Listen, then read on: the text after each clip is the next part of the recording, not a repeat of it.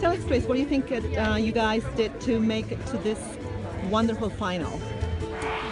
Well, I mean, we started out really slow. We played uh, we played these the Airstream team first, and they got a step on us. We were a little bit loose, and they, they beat us in the first game pretty well. So we wanted revenge. uh, the two Del Rios and Biddle, they played really well. So it's been a really tough tournament. It's been fun. The fields have been great. Uh, I mean, Peter Brent stepped down this season, but he's been a great host. I mean, he's still pouring money into the field and the club and helping everybody, and he's been amazing.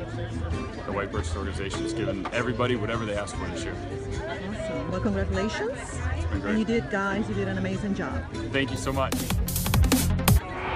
E começamos o jogo bem, depois eles, eh, eles tiveram um bom domínio e a gente, no a partir do quarto tempo, acho que a gente mudou um pouco a tática e fizemos um bom quarto tempo. Eh, eu acho que daí foi a, a nossa grande vantagem até o final da partida.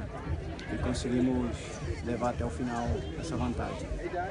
João, o que você acha que é, o que que vocês fizeram nesse nesse nesse season, né, para ganhar hoje, para chegar à final? O que que você acha, tua tua perspectiva?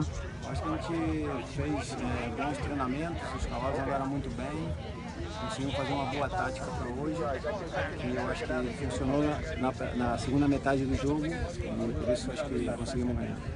Muito obrigada. Muito obrigada, João. João para Polo Hub da Argentina. Obrigada.